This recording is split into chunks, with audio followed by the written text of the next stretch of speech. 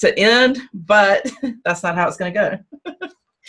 um, so um, someone was uh, referencing the fact that you talk about extraction, and they say that you said they'll put a beam and this was from our our previous conversation uh, where they actually gave the the minute mark 32.32 in you say they'll put a beam around your consciousness and transfer you through and you'll be in another universe so this is something they don't need your permission to do to you. Who exactly is they you speak of? And i think we've kind of already answered that but i'll just let you go ahead and elaborate. And also i'm going to finish up this question. And how can we distinguish between a benevolent extraction and the malevolent soul stealing process you describe which also involves some kind of beam that pulls your consciousness out of your body? Mm. I did that backwards, didn't I? kind of, but uh, the the harvesting and the the beam or that pulls your soul out of your body, that's a kind of different. Uh, we need definitions. Excuse me. Some uh, some uh, definitions basically go into the soul being the bio mind, which is basically a recording of the brain or the the artificial holographic memory. Then you have the, the, you're not the soul the soul is an imprint of your spirit within this this time matrix so it's like a residual uh, structure that takes up your energy and glues you to it. The the uh, if if there's a soul put it this way the soul harvesting thing does need your consent. That's the whole point.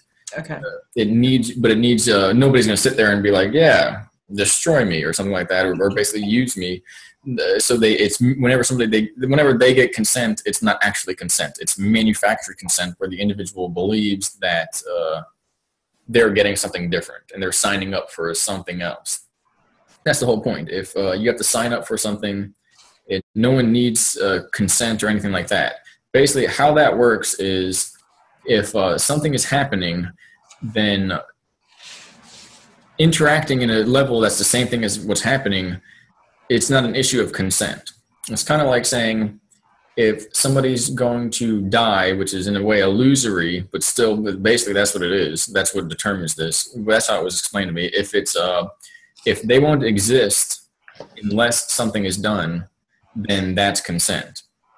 Meaning, if people are going to go to war and blow themselves up on accident, some guy's riding a motorcycle and it's leaking fuel, and you know it's literally a spark is about to blow the whole thing apart if as long as they've lived in a way where it is uh, conceivable that they would want to uh, preserve themselves and uh, and given another chance, if you will, then no one, no no firefighter has to go up to him and say, "There's a flame leading up from the you know stoplight you were just at, coming up to your your bike, and as soon as it reaches your tank, it's going to blow your legs off." could I please uh, have permission to put out that fire and you know move you to the side of the, the vehicle in case it explodes? That's never been done in history before. No firefighter sees your house on fire and you're literally running around in flames and they, they're tr- having this pen and some guy's chasing you like sign here, sign here. Do well that's a public service. Do hospitals do that? Of course, because they want their money. They say you're dying, sign this. I can't do anything if you don't sign this. Um, so which is crazy. The only way they're allowed to do that is if the person's knocked out and then they can go in and they have to kind of do it uh, beyond that. They can't communicate with the individual, which is the most fraudulent behavior ever because that's the whole idea. I just displayed it for you. Hospitals are good. They make you sign something so that you know what you're getting. It's the opposite. You signed for the person signed for it. Now, when that shit doesn't work and it causes 10 times the problems that they had when they first went in, guess what? You can't complain. You signed for it it's a scam if you have to do that if they have to you know go for that and so it doesn't now if a person says i'm going to do something because i feel it's right. That's not a, the people that run this are the people that have the capacity to know everything. They know who did what. They know who they did it to. They know the intentions based upon the water molecules that passed through their field and created these bioetheric emissions out of their their aura or whatever you want to call it and how in that sense how they were feeling. And and they know how many times when where and why it all happened. They know everything so if anyone's going to get in trouble for something so on and so forth eventually there's there's basically going to be judgment and the people that manage that are the ones that manage uh, extraction or whatever you want to waking waking humanity up mm-hmm. and so and then the uh, there's two ways of people going about that. Some people are using these, you know, media and, and debauchery and stuff like that. They're saying it's going to be as dark as possible. We're going to make it look as stupid as possible until people give up on this stupid show and realize it's all a scam. Or that we're to, there's another crew that basically hangs back and at the last moment, if it basically goes as far as it can go within it, at that point, the likelihood increases beyond a, a reasonable doubt that it's basically we're going to have a quantum collapse again. There's, uh, unless that person designated throughout the entirety of their life that they just want to die and they want everybody to die and they want to kill everybody and kill themselves, there's a it's, it's like a negative percent that you would go to them and say, this is all we know. This is what we see. This is all that's happening. Here's the records of human history. Here's the consciousness records, the judgment of the book of life. Okay. And then here's what's about to happen with the dis- dissolution into Armageddon type, you know, end of days dissolution of consciousness. Now, do you want to dissolve? There, unless it's a 99% likelihood that they're going to go, yeah, throw me into the mouth of the beast. I want to literally lose my etheric form for all of time and be ground up into a dimensional dust that becomes a prime material of the next universe and I'm erased forever. Unless they can look at the events and in a reasonable, you know, situation of their life say that's what they want. In a reasonable situation, the the the accepted attitude or, or behavior would be to to help the individual. Strange thing, they can pull the person out of their consciousness or out of their body and say, "This is what's going to happen," and do exactly what I just said. And then that person's going to go, "Yeah, I don't want to dissolve. Are you crazy?" Sure. And they put them back in their consciousness. They have no memory, and they have permission from everyone. That's how it works. And as well, the other group does the same thing. Hey, can we poison you and, and invite you to this cloning station and this, that, and the other? It's real fun. like, who are you? That's not important look at all these naked people. And they go, yeah. And then now there's all these torture scenarios. And this is really just for them to, this group that merged with the end of time and said, huh, we didn't hold our energy properly. We're going to dissolve once humanity passes this point. There's no anchor point. We become that forgotten interdimensional parasite species. We dissolve. So they just want to get their kicks in as much as possible. And they went through all time teleporting people and abducting people and doing crazy stuff. Um, so there's, there's two groups doing that.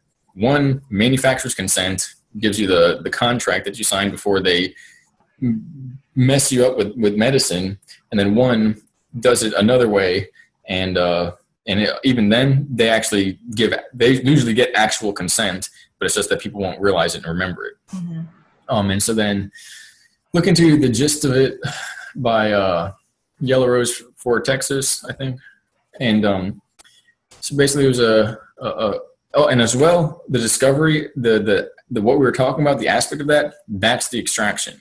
When you, it's literally like all these systems set up, and otherwise, it goes like this, and it's like a, uh, it's like there's a bunch of billiard balls, and the lines in between them are it's like an electrical grid and your consciousness is your soul basically just goes and goes wherever your spirit is drawn to wherever your intentions are. You go into a universe where that's where you're you're represented. So it's also these these uh, groups, some infiltrated, some hold strong, uh, train the individual to manage themselves not by oh, I'm this, yeah, that's what I want, but not speaking not doing the ego thing and the conscious thing and knowing from an organic or an unconscious aspect of well, I can say that, but look what I've done. Look what my long body has represented throughout all time. These are the same cycles of change that I've done for the past 30 years. I can say this is what I want all the time that's what the behavior shows. That's what I've actually done. That's what my intentions have held. And so that matches that spirit, that frequency, that highest level. That's what's the person's. It's like the the compass on the the goat the the uh, boat, if you will, the guides where it's going to go interdimensionally or through hyperspace at that point, and it brings them into a universe that corresponds with that frequency. So the idea is to boost that to the highest level. You can go to any frequency you you want.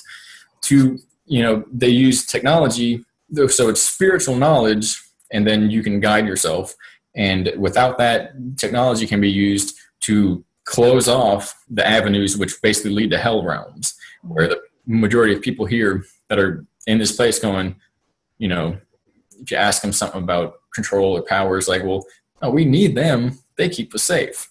They got all the guns and power. If you know somebody wants to do something they shoot everybody and that's good right? And we have war for that safety. Um, so if you take them or they go through an experience or something like that or die or whatever it is and go into the next realm well, they're going to match one that matches that frequency. Every majority of people are going to a hell realm and just creates a cycle over and over again. And the people who have figured out immortality and how to jump from one place to the other, well, guess what? They're the same, their spirit in each reality. It's they've consciously awakened their spiritual aspect. Meaning, when somebody goes into one of the other realities and ends up in this ones that's locked down and controlled them as well, it goes in a progression each time, up or down. It's never the same. So if they're low frequency, well, they're going to go into a lockdown world where one war went this way, or maybe we're at war at this point, and say they they leave that one and they're still pointed low oriented they're going to go into another one and they'll get to that base level reality where it's just physical automation, it's robotoids, it's mutations, and, and a, a takeover by another species. It's the lowest possible reality. So then if they point high and orient, you know, their, their moral compass high, they bounce to higher and higher realities. So they're building a pathway to the highest reality, and it's through spiritual knowledge. And if a person hasn't obtained the high level of power that is required to build a it's like time that virtual egg thing it, that's the trajectory tr- through time instead of waiting a million years to go around the circle if you build up your energy without giving it out without using low efficiency methods of breathing uh, bleeding that energy out through uh, physical or sexual or, or emotively parasitic pathways then you have a higher potential of that spiritual awakening to occur. And when you're at the highest potential, whatever reality you go to, then it's literally like the, the rays beaming out. You can go 360 degrees, you have full choice over where you go. The, the base level fundamental is one way or the other. You really can't do much. You can, you can bounce. Basically, base level is linear steps, one way or the other steps, down or up. The highest level is leaps and bounds, meaning you, you hit exponential curves of where you want to go. And that never ends. You can go to a universe where everybody's literally just, you can make food out of where you, you know, the ether. So the idea is there's a plan because it was viewed and it's the interdimensionals and the dark factions pretty much figured out, well, A, we can't fully win because it would crack the universe. What happens if we knock out all the possibilities? Now there is no base level timeline where everything's perfect, if you will. Well, if there's no that, then the opposite end of that, the ones that we rule over in these hell realms, well, what, what do they become? They dissolve as well. So they need that level to, to contain itself, to still exist. And so, okay, so what happened? Well, we won. We, we, we, no one has the capacity to do that. There's these people, these consciousnesses coming in that have been, haven't been here in a billion years. They've just been off doing their own thing in the ether. And of course, there's this call going out through the, the frequency spectrum of the universe like a you know a child and, and mother calling for for help and uh, these beings are coming in because and it's not you know interdimensional extra aliens something like that it's it's you know, children that are, are, are more resilient to basically being raped and molested which is what every person goes through in this reality and if you're in these groups it physically literally happens um, and just people were more resilient to that not like people with wings or something like that um, and so uh, and so you know why is this happening is because well, they look in the timeline. It's like, oh, well, apparently we won. We made a world war. We we uh, took out all the ability for nutrients and vitamins and free will, freedom of speech, all that stuff, and then uh, the species fizzled out. We had like an automation reality from the the Nazis versus America versus the Jews and the the immortal Illuminati and so on and so forth, and that took over this species. That took over this this reality. There was no there was spirit but it was so dimmed in comparison to what it was or what it could be that there was a severance between this reality and the most high and it became an infinite loop that couldn't get out of that lower dimensional structure and we've been here for like millions of years and so a plan had to be enacted and that's what if you look at a lot of the, the early ancient texts are what the religious texts remodeled and, and made up basically to make the modern day religions. But that's what's what's looked at as these liberation concepts as far as as far as excuse me uh, waking people up. And uh, at the very lowest and highest there it's not here get in there and we're helicoptering you out it's literally all the exit that would result in absolute total annihilation of the soul before the person extracts from the universe, which extraction means liberation, It's just more angled. Those paths get blocked off artificially to the point where it's literally like a team of people focusing on that individual, if you will, sending loving messages and thoughts and encouragement. You can make it. And on the higher plane, spiritual down, okay, that's nourishment. That's food. If you're on a bike or a car, it's somebody booting you in the, the boot of the car and pushing down the road faster. And that's the whole point. It's kind of like you got to hit 88 miles an hour, which is a, occultic number and, terminology. But that's the that's the point of uh, tra- trajectory to the most high. You have to have a speed that is is is it's a, it's basically we're in a gelatinous void space. This is all uh, conceptual. It's not you're not physically going into a dimension or, or uh, out of physical space or something. It's it's it's energy and awareness. It's as if though metaphorically you have to build up enough energy be, uh, push yourself out of through the void of space until you hit a barrier and the barrier is a virtual barrier meaning it is the maximal con- concept of space and and distance in space and the maximal concept of time and distance in time, meaning to surpass it, it requires an eternity and an infinite uh, amount of energy. So the idea is that all it means is that by the time you get through that barrier, your physical body has to be pure energy. You have to become one with your mind fully. And what that means is that you can't have your ego in the way because the ego creates a separate point of, well, I'm my body or no, I'm the mind. And there's that hinge there, that fulcrum which causes that spinning of intentions, desires, results, reactions, of you know responsibility, uh, blame shifting or projection, and it creates that ignorance, conscious, unconscious display. So the conscious and the unconscious have to be merged. The shadow self accepted. That's what all is being led up through history. People have to have the energy uh, capable of, of, of uh, maintaining a form. Basically, it's like that. You, you shoot off and you have to get through an infinite. The point is, you can only use the energy that you have at the point of launch. There's there's no food out there. There's no food in the tra- the journey.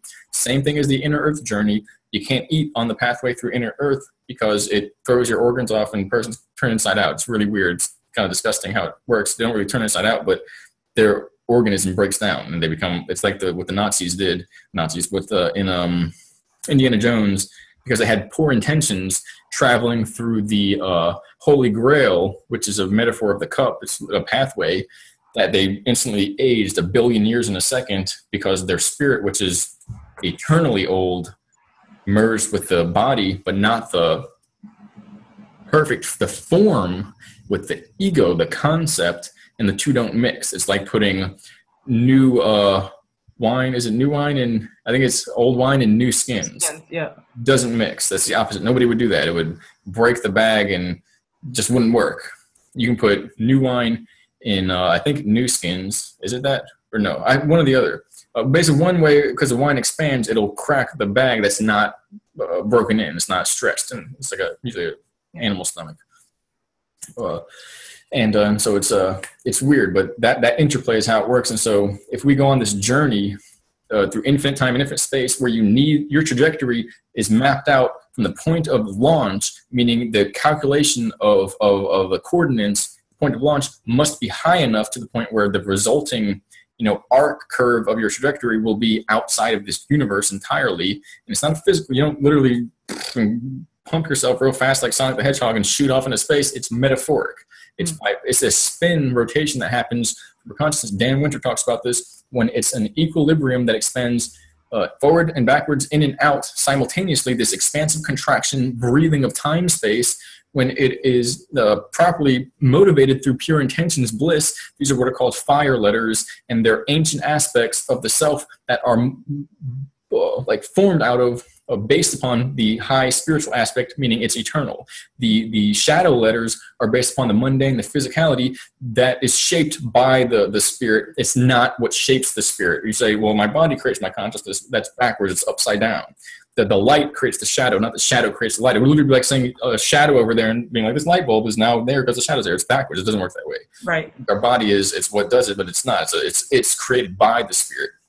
And so when you're in the spirit that's doing it and it's inverted from the, uh, the, what we see is the, the, we think the body's in control and the ego and all that, then you activate this, or this like spiral frequency of organic energy transfer through this fractal convergence field that opens up and creates a perfect geometry from the, a wide level density here and a zero point at a, a, a, an orientation, a proportion, an iteration higher and lower with the number of iterations uh, at a finite level, and then at a frequency or a, a uh, finite uh, measurement, if you will, that basically slips in between atoms. It's at a when it's lined up this way, the right way, and it's lined up in each iteration small the right way. You get a perfect curve that is the same pattern of the entire universe. And so when your energy matches that, you go an infinite distance and an infinite time into that curve, and it opens up basically a pattern, a portal out of here. The point is that's basically your heart system. When your heart and your mind are one, that's the converging of the higher and the lower, the unconscious, the, the conscious, what you are afraid of and you don't want, but your conscious mind knows there's something missing or something like that, when they're basically all is revealed through the heart, through that in the mind. Mm-hmm. And um, and so the idea with the what I was told and shown, I was like, okay, you don't believe, right? I go over there, we're gonna have a little practice run. And uh, they can so the energy is from bliss. It's from a fractal geometric proportion proportionality where the spin which is the natural occurrence of a person through the sine wave of time you're always doing something you're always changing. So imagine you take that okay now twist them now it's a spiral. Okay now put it this way. Smush it. Okay now now it's a, a coil if you will you got a certain coil, a Tesla coil a certain way, you get a perfect equilibrium, you make scalar energy, you get the person perfect frequency, the Hertz cycles of correct amperage amounts of power going through, and the perfect geometric alignment, and you get a scalar field that connects with the mind, and you create a mind-mind computer system that goes into and out of dimensions. Okay, so when your energy is doing that, then you get a UFO that travels in and out of universes. Um, so the point is that you need uh, three phases that there is a, uh, a, a, high uh, is harmonization meaning the the uh, the spin or the, the the the change the undulation is basically a deviation of first binary of higher and lower ego um, higher mind spirit body.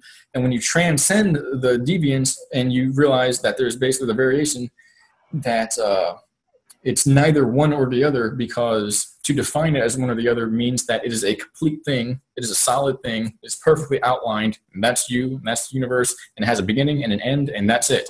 Nothing has a beginning and end. It all simply is. The definitions always are added to it. As soon as you define it, it's like, there's the outline. Well, you just drew an outline. What's outside of what you drew? Nothing. Well, and how is there an outline there? What is the outline in? So as soon as you do that, it gets more and expands. The ego wants to go, no, no, no, no, no. It's just what it is. It's there. That's it. The spirit knows it's continuously going. It's forever. So the equilibrium, when you balance the two, it's neither one or the other, and you open up a transcendent pattern of both simultaneously. And that's the the third factor, if you will. It's the the, the Trinity, the original Trinity, and that's the the pathway to zero point. And to do that, all you have to do is go. It's okay, monkey mind. There's love. You're loved. I love you, and, and accept that. That's the secret that's the big secret of the, the rosy heart, okay, of the, the, the, the clear pathway to the, the space within to equal, uh, to cleave this reality and go into a place of, of heaven or something. It's within you. That's the pathway. It's the, the fractal pattern that Dan Winter talks about. It's kind of crazy when I first saw him because that was what I was, that was what I was learning um, from, from, you know, strict experience. And it's probably the same way with his uh, intellectual, mathematical, you know, knowledge and then being a, a, a, awakened spirit of going, that's why that works. That's why that does that because of this, this, and that, and being able to explain it that way. And I explain it the same way, just not nowhere near the kind of words that he uses and the, the mathematical uh, descriptions. Obviously, it's curvy lines. They go this yeah. way, and you just shake it a lot, and then and goes that way. And if it's balanced, when the shake happens or the spin goes up like a mixer, it uh it makes a perfect congruence pattern that goes in and out, and it's like this 369 Tesla ovulation or ovulation oscillation is like an ovulation because it's the egg. This is what the, the, the Orientals will say the egg, with the person impregnating, impregnating themselves with the egg of consciousness, the egg of super consciousness. Because when that happens, you form an egg, and in that vortex, that center point, all of time and space is accessed. But um, and then if the, the, point is when that's not balanced, that sine wave, like the vocals, uh, Dr. Emoto talking about the uh, the crystals that are imbalanced with these negative emotions, because when negative emotion or the lower mundane is the primary factor, that pyramid's upside down. but it's not if you do that but you're not in spirit when you do that it's the body doing that that means you have one pyramid this way and the other pyramid that way and they're merged it's like a transsexual of energy mm-hmm. and you have the uh, the the pinnacle the high, up high it's your ass and your genitals and the people that do that in the projects or the dark whatever it is they're they can't activate their solar their heart unless there's a sexual experience and the more that goes on, the mind degrades and that becomes a degrading sexual experience. Mm-hmm. That's their pathway. It's just, it's just weird, okay? So, well, the goal is to offer everybody the pathway that when we heal the dark in this universe as a species, well, guess what? You heal the, the other end, the, the light aspect who's feeling that. And the idea is that if you're the light aspect, you're only healing. You're not blaming, and it's like I'm the light aspect, so screw the dark. No, it's not a wrestling match. It doesn't exist. That's actually the dark. Yeah. But that's why it's all this this interplay of there's masks. The ego has masks. It's like the uh, the Orientals also say that uh, you have three masks, and I added another one in the other interview I did. That you have the one that you show like people formally, the one that you show just your friends, and the one you show only yourself. You actually have another one that you don't even show yourself, and that's your unconscious. That's your spirit that you have to take off the form of the body to see, but you don't have to because you can do it mentally. Mm. And so uh, that that pattern that's the most difficult part is harmonizing or it's the most confusing where it's when you're in this flow this ebb and flow of your choice your decisions the changes that you have uh, access to of how you modify reality based upon your intentions and your free will that if it's high spirit it's it's free will it's high free will. Free will is actually spirit that's all that means that you're in control you're doing it because that's what's happening. Mundane uh, desires uh, you as a spiritual being guided by the body instead the animals guiding the cart and the guys being dragged behind the cart by the reins that's backwards. Or putting the cart before the horse same concept just in older terminology mm-hmm. it's less cartoonish.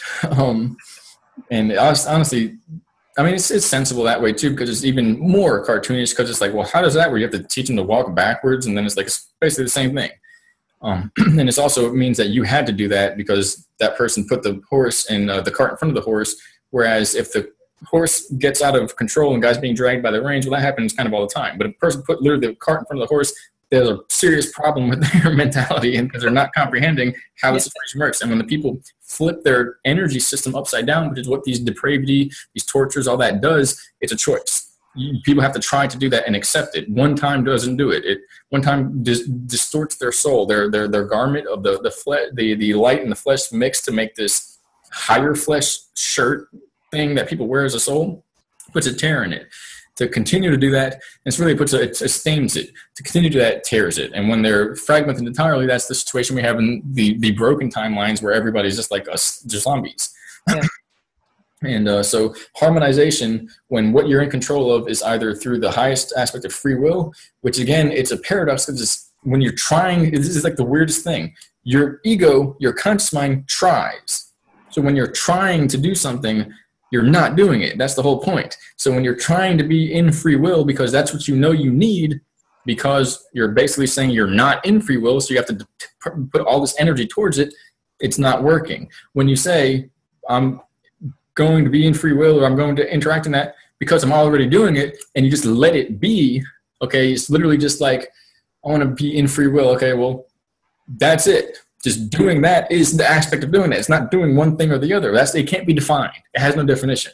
It's well, literally an essence it's like trying to it's like going around it's like going around screaming i'm a sovereign being i'm a sovereign being i'm a sovereign being when and and trying to prove that in the reality when you already are that sovereign being. What are you fighting? What are you it's almost like you that to me that's almost fear based in the fact that you're trying to say i think i can i think i can i think i can. I know i you know you're trying to get to that point. Like uh, you're questioning am i really a sovereign being? And when you know you're sovereign you know you have free will and you know you can just be because everything is created by you for you for a purpose Exactly. It's an instantaneous, simultaneous, and it's a differential between image, creating the image, the outward appearance, even to your own self, or the knowing, the aspect of knowing. And in that sense, though, you can go around and yell at all you want. You might be right. But at that point, you're not doing it to prove anything. You're just messing with people, having fun. And somebody might giggle and like get it, like see the glimmer in your eye, like ah, that's funny, right? Because maybe then you're making fun of the people that are doing that in a, a, a you know a, a wholehearted way. But then if it's serious and it's like you got like this dagger and it's like I am sovereign, this is why I have to try so hard and I'm in this hostile state. It's a delusion. Basically, what we do with the ego mind is only monkey mind. It's only delusion. If you do something, you don't actually have to do it. You just be it. If you do something that is related to who you are, you don't then go out and do it. That's what we do on the stage.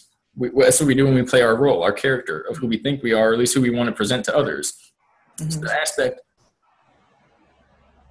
of harmony, as far as harmonizing ourselves, is literally simply free will. And free will is when you do what you're doing because that's who you are and that's who's doing it.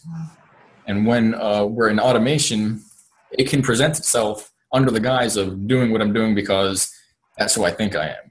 Mm-hmm. And that, basically, that process of thinking in the brain and all that stuff, it's an illusion. It's a show. It's an automation. It's a robot. It's a it's a monkey robot thing somebody designed. And pure spirit doesn't need that. It doesn't mean you don't have a mind when you do that stuff or, or brain at that point because the mind and the brain are different.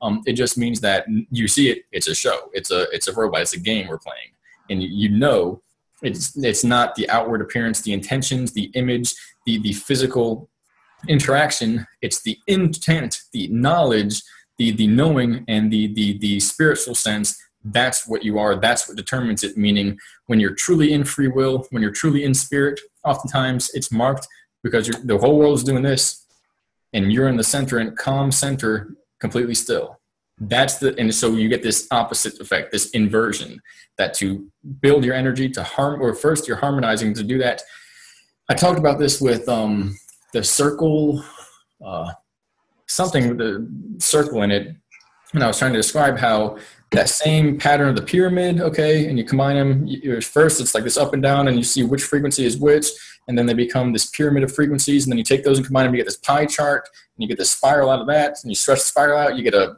spiral in motion, uh, uh, like a DNA strand, and then you coil that up in different ways, and you get this extra dimensional continual ascent from higher and lower to extra dimensions because you have to see what you can see. You have to be one step above that. So as you see more and more, you're boosting yourself bigger and bigger until you get the maximum dimensional body, and you become all of time and space. But it's, uh, it's a misnomer because it's not time and space. Time and space is a physical hologram. It's the brain. You become all that is, which is beyond time and space. That's the whole point. And time and space becomes one little speck at that point, and there's this like infinite uh, span. But the idea is that if you're spinning, it's like a plate made of an equilateral triangle or spaghetti on the plate